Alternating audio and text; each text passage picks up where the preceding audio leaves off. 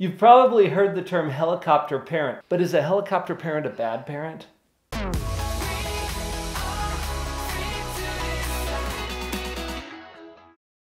The term helicopter parents I first heard when I was reading a book called Parenting with Love and Logic. Do you remember this I one, love that Vicki? book. Mhm. Foster Cline and Jim Fay really had an amazing impact on me in my professional development and on us as parents. Right. They coined the term helicopter parent. Now, what it means, if you can picture a helicopter, for starters, it's it's got the rotors up on top, and that allows it to hover, and it just kind of sits in the air.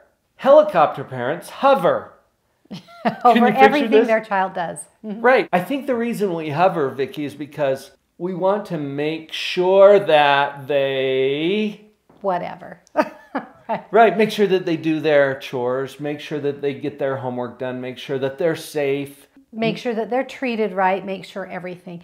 You know, I think we need to remember that it's it's actually kind of natural for us to want to hover. That's a very natural Yes. tendency. And so we don't want to beat ourselves up for it because it is kind of natural. My whole job as a mom, you know, is love To them love no matter them, no, love them no matter what, and even if. you know this. Yes, but part of it, you feel like, boy, I just need to teach them so much and make sure they're safe and send them out in this world Right. the best they can. You know, we get really stuck in that thought process, and so in the, in doing so, we want to kind of watch over them and hover a little bit. The question that we let out with is a helicopter parent a bad parent? No. But there are some very specific consequences to that hovering. And you know what is the most interesting to me? I didn't actually see this as a consequence while my children were little. I kind of came across it when they were older, and that is that when you hover over them, you are sending the message, I don't really trust you to be able to handle this. And it never dawned on me that that might be what I'm telling my child by kind of Right. being helpful. I saw myself as trying to be helpful, stepping in, doing things, providing things for them, information, trying to protect them from rough situations.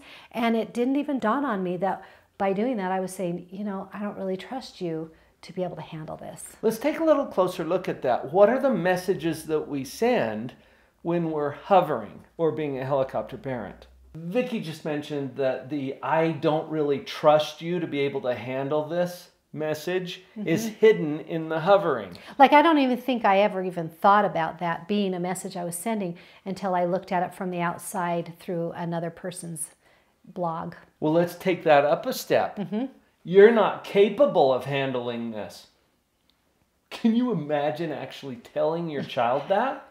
But that's kind of what the hovering says. Right. It's like, I'm going to stay right here. I'm going to make sure that you do this thing that I asked you to do because you obviously are not capable enough, smart enough, bright enough to handle this on your own.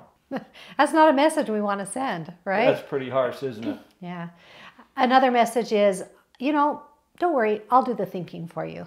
Let, let me figure it all out and just hand it to you because I'll do the thinking. Ooh, economically, just think about how that's going to impact your child. Because kids are constantly trying to figure out okay, what's going to be the easiest thing for me to do here? Should I worry about this? Should I let mom worry about this? Hmm.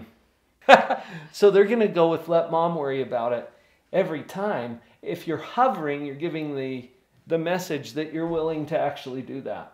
Another message that we've kind of gotten in the habit as a community, as a culture telling is that I don't want you to fail. Failure is bad. And I think when we hover, Oh, we're kind point. of preventing them from failing. And that message is that failure is bad. That's not a really Mm. great message for us to raise our children believing. Because they're going to learn so much from their mistakes. Matter of fact, I heard it this morning that failure is only bad when you make it into a bad thing for you personally. do some thinking around that one. Mm-hmm. I think that's really powerful and important. You know, the other thing that it tells our kids when we're hovering or being a helicopter parent hey, whatever the issue is right now, only important while I'm standing here, while I'm physically present, while I'm hovering. And that's not really the message we want to send either. So, as an alternative, what messages do we want to send our kids? Let's get into that next. The most powerful message that we can send our child is you are capable of doing this. We want them to know that we Mm-hmm. believe in them and that they are capable. Not only that we believe in them, but we want them to learn that they can believe in themselves. I did a video not too long ago about the most damaging thing you could ever tell your child. And it surprised some people to go watch the video. It's right here on the channel. The thing that surprised people, it's you can't. You can't. I think that's the most damaging thing you can tell your child. So, like Vicki was saying here, let's send the message that you can handle this. You are capable. You are bright enough. You are smart enough. I know you're going to get this. I'm not too worried about you making a mistake because actually, that's probably a good thing in your learning curve. You can handle this. It might be just because I don't want to do all of the work or all of the thinking.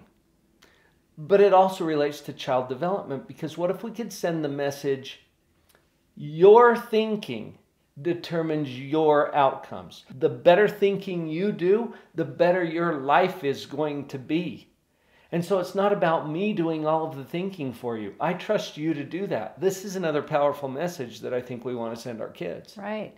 Yeah, and realizing that my own work is one of the principles of my happiness. This is what we're teaching a child. Right. Your thinking and your work is going to bring about your happiness. Right. And it helps him to link up cause and effect too. Mm-hmm. So that's another good reason to stop the hovering. The bottom line here you're not a bad parent if you're a helicopter parent. It's a natural thing, mm-hmm. like we talked about. I mean, it, it, it kind of comes naturally to most parents to hover. I hope that through this video you've been able to see that there are some messages we're sending through that that maybe we didn't even realize we were Right. Not really the messages we want to send. There's so many other resources available to you, and you can get on top of this. We are not going to leave you hanging. We've got your back as a parent, and we are honored to be on your team. Spend some time here on the channel. We have so many videos about this and other topics that you're going to find helpful as you get to be a more positive parent. The street alone, alone, alone. Her head was down, face locked onto the phone.